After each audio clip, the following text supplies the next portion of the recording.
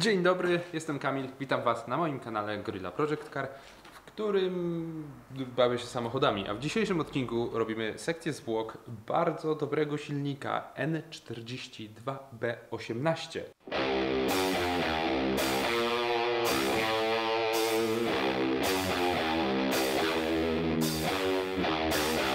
To jest silnik, który jest prawie że identyczny jak B20, różnią się wykorbieniem i jak N46 e, B20. Więc jeśli macie, czy tam B18, jeśli macie jeden z nich, to ten film może Was zainteresować. Opinia o tych silnikach jest różna. Bardzo dużo osób ma im za złe y, żywotność, natomiast z mojego doświadczenia silniki bardzo dobrze y, znoszą kilometry, bardzo źle znoszą słabą jakość oleju. W tej chwili samochody z tym silnikiem mają chyba najmłodsze 16 lat, więc jest to dosyć stara jednostka, która już swoje przejechała i nie tak łatwo znaleźć dobry, zadbany egzemplarz, jeżeli jesteście zainteresowani kupnem. Natomiast jeżeli znajdziecie jakiś i odpowiednio go przeserwisujecie, to nie powinno być z nim jakichś wielkich problemów. Ja sam przejechałem z 200 tysięcy kilometrów takimi samochodami, z takimi silnikami. E, Były to E46 w kompocie, e, mnóstwo jakichś innych silników, y, znaczy samochodów typu E90, E46 e, w sedanach, kombikach i innych takich z silnikiem N46 serwisowałem, nawet jest X e, trójka, nie, jedynka, jest jedna X1 E87 chyba, również posiada ten silnik.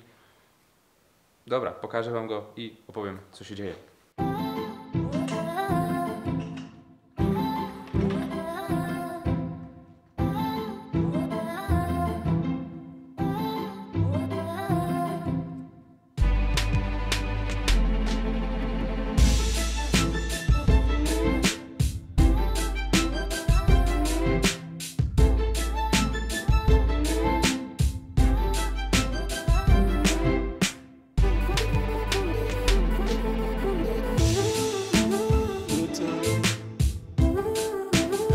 Zauważyliście, ten egzemplarz w środku ma bardzo czystą głowicę. I teraz e, ten silnik został zostawiony tutaj przez klienta, e, który po prostu nie miał co z nim zrobić.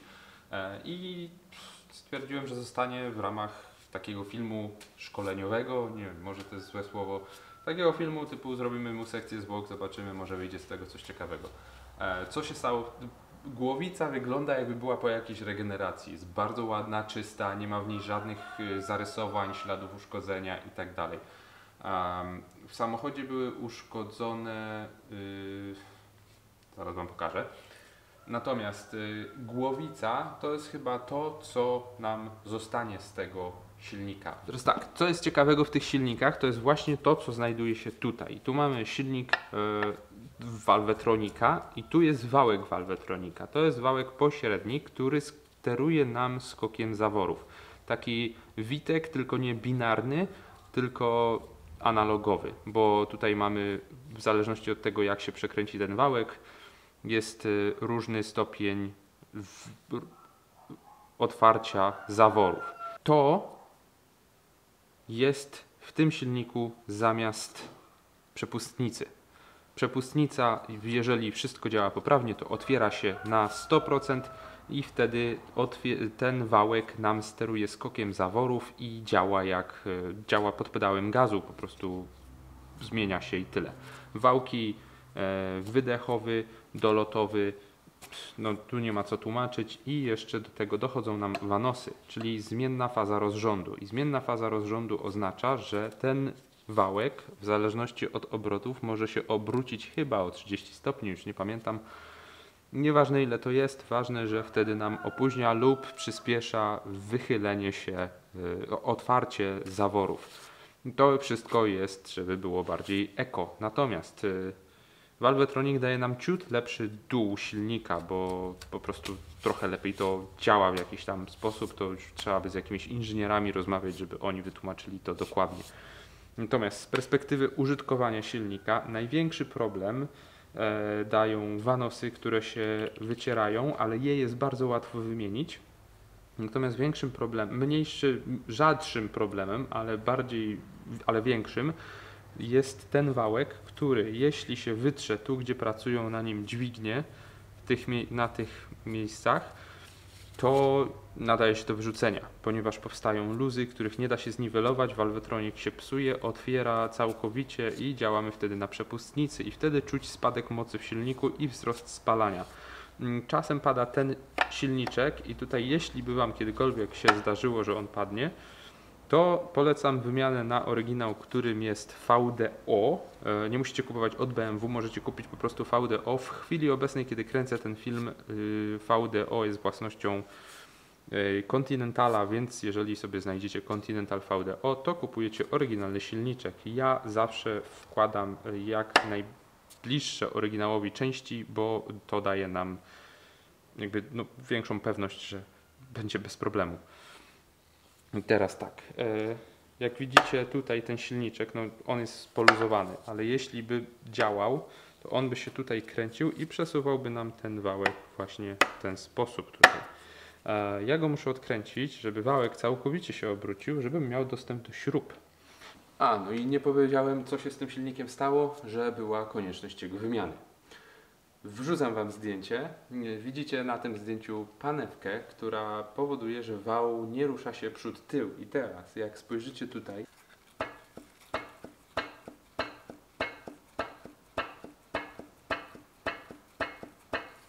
Mamy tutaj luz na wale. On nie jest góra-dół czy prawo-lewo, to jest luz przód-tył, przez co ten silnik nigdy nie będzie mógł prawidłowo pracować. Wypluł panewkę, dosłownie.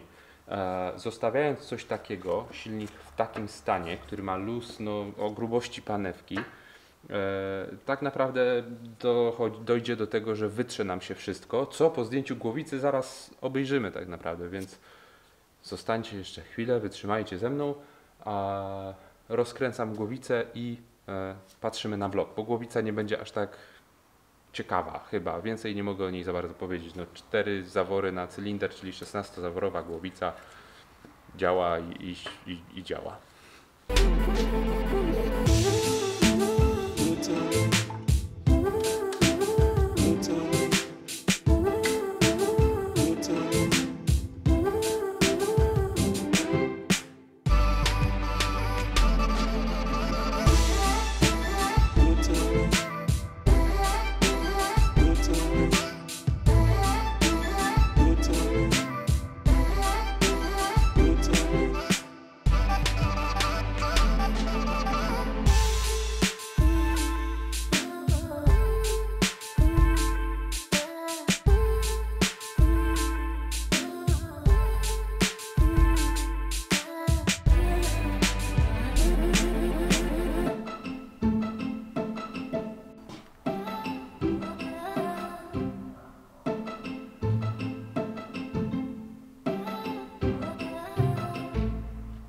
Spojrzycie tu na tłoki i pomyślicie, o, czarne tłoki, żarło, olej na bank. No i tak, to, to samochód tu przyjechał, bo kopcił, e, żarł olej i y, była, były wymienione uszczelniacze zaworowe. Natomiast y, podczas wymiany rozrządu okazało się, że tam są niefajne rzeczy.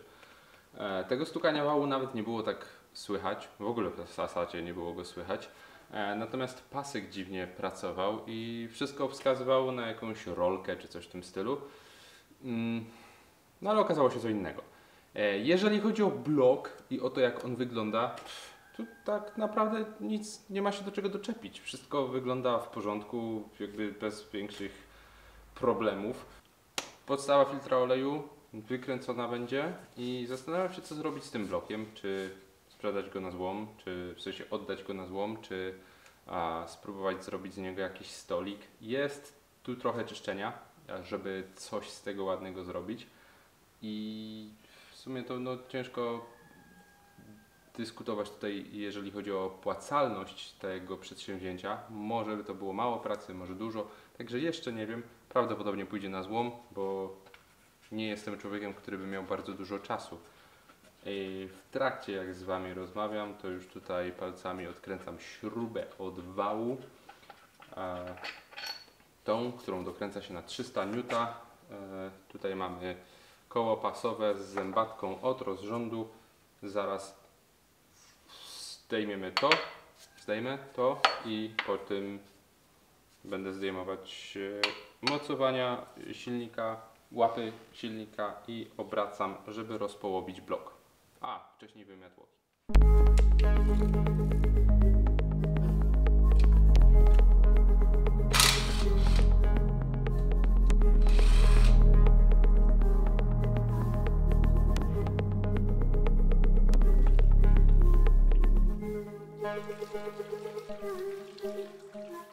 Z ciekawostek na temat tego silnika, tego egzemplarza, mogę Wam powiedzieć, że ma przebiegu 120 tysięcy oryginalnego, co jest niesamowite.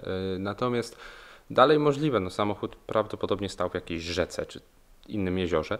E, Co było widać po stanie śrub miski olejowej, wszystkie przegnite, mimo że mały przebieg, e, to, to wszystko było tam rdzawe, nie wyglądało za dobrze.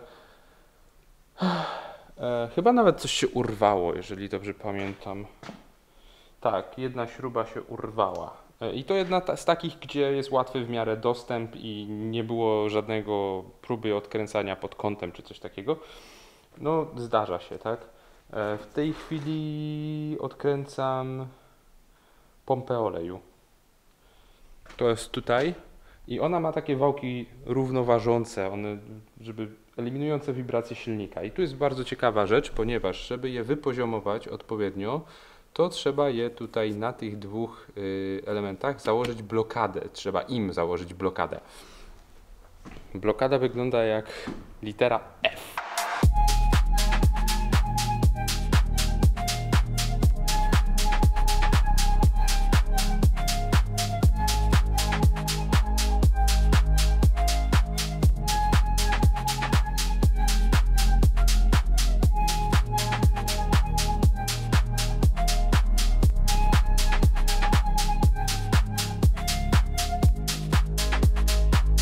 Trochę nie dopilnowałem i skończyło się miejsce na karcie pamięci i aparat przestał nagrywać oczywiście. A ja nie patrząc w ogóle na aparat, mm, rozebrałem już wszystko do końca.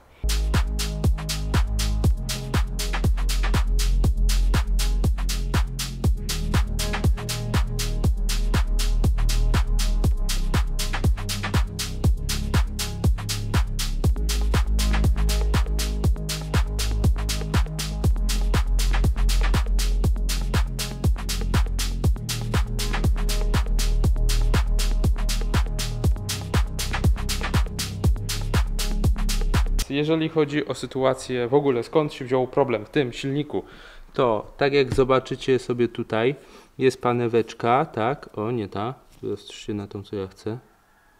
Jest sobie paneweczka i tu z tej strony jest taka blaszka, nie, która y, o, ogranicza ruch przód-tył y, naszego wału i ona z dwóch stron powinna mieć tą tutaj blaszkę. Natomiast tutaj jej po prostu nie ma.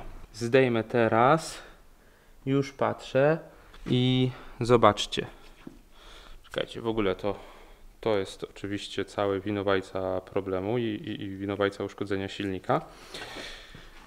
Tutaj, gdzie była ta panewka normalnie, jest bardzo ładna gładź i nie ma żadnych problemów. Z tej strony wszystko jest tak chamsko wyżarte.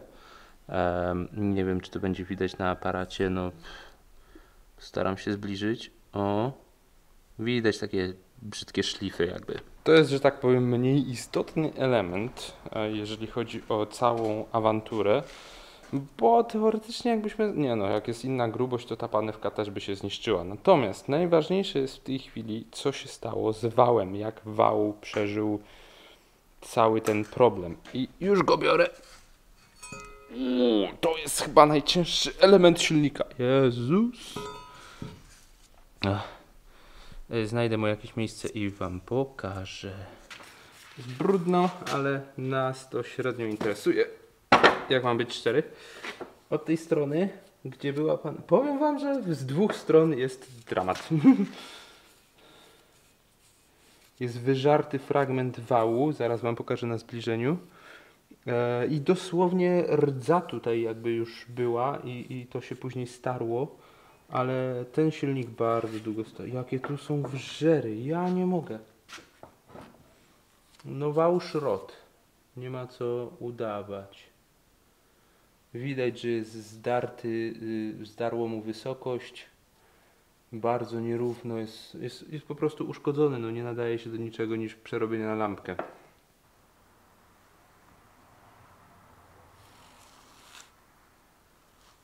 Może jakieś wnioski? Może zwróciliście uwagę, że y, jakby przy zdjęciu głowicy, no nie wiem, nie pokazywałem za dużo dzisiaj niestety, ale przy zdjęciu głowicy starałem się być ostrożny i tak dalej, a przy zdjęciu, rozbieraniu bloku kompletnie mnie to nie interesowało. Nie chciało mi się zmieniać kluczy, patrzyłem czy da radę otworzyć, odkręcić większym kluczem, y, bo, bo nie chciało mi się iść po inny. Jak się śruba obrobiła, to obciąłem. Wiedziałem, że to będzie szrot. Po prostu byłem tego pewny. E, Tolerancje w silnikach są bardzo małe i to, co tutaj się wydarzyło, dyskwalifikuje ten silnik z dalszego użytku. Jakby wszystko da się naprawić oczywiście. e, Można zawieźć to do kogoś, kto by to tam pospawał, nadbudował, później wykroił odpowiednio i mamy blok, który można używać. Natomiast w przypadku tego silnika gra jest niewarta świeczki. To jest 1.8 e, N42, za który nigdy nie dostaniemy zbyt dużo pieniędzy, nie będzie nigdy dla nikogo jakoś dużo warty i szkoda inwestować w taki silnik, skoro można kupić drugi blok za, znaczy szkoda, szkoda inwestować w taki blok, skoro można drugi kupić za jakieś tam pieniądze. E, Głowicę ostrożnie, ponieważ wyglądała bardzo ładnie, więc nie chciałem jej zepsuć. E, Może mi się przydać, ponieważ tak się składa, że mam drugi silnik. Bardzo podobna sytuacja. Klient, no dobra, trochę inna. Ten dojechał, inny klient nie dojechał. Przywiozła, przywiozła go, przywiezła, przywiozła go laweta i e, okazało się, że jest wałek pęknięty na pół. Mm, nawet gdzieś tu leży. O. Więc może powstanie, prawdopodobnie powstanie następny odcinek, całkiem w niedalekiej przyszłości, gdzie rozbiorę drugi silnik i tym razem ostrożny będę przy y, wyciąganiu, przy rozbieraniu bloku. Właściwie to nie będę go rozbierać, ja go tylko wyczyszczę i założę na niego głowicę. I z tych dwóch silników zrobię jeden. Wyjdzie N46 B20 dół z głowicą N42B18. Głowice są identyczne, nic się nie stanie i tyle. Em, no, także w ten sposób, oczywiście głowica pójdzie do planowania, nowa uszczelka pod głowicę, nowe śruby i zobaczymy, co dalej z tym silnikiem. Może go sprzedam, pewnie go sprzedam, wystawię go na sprzedaż i, i, i zobaczymy. Tylko muszę znaleźć samochód, do którego mogę go wsadzić, żeby go odpalić, żeby pokazać, że on działa i przepukać go też, e, żeby nie sprzedawać komuś silnika z jakimś tam bez oleju, który ma jakieś wióry, nie? Więc przepłukamy z nowym filtrem, żeby to było, żeby to miało ręce i nogi. Jak ktoś przywozi do mnie samochód, nie zachowuje się tak nieprofesjonalnie, serio, po prostu tutaj to jest, to to jest, to jest takie dla zabicia czasu, że tak powiem. Czekam na, czy w ogóle odcinki niechronologicznie wychodzą, więc to co mogę mówić będzie dosyć mm, dziwne, ale czekam na części do Garbusa, y, Jetta musi sobie wyschnąć e, i tyle. Nie mogłem nic innego robić, więc zająłem się tym.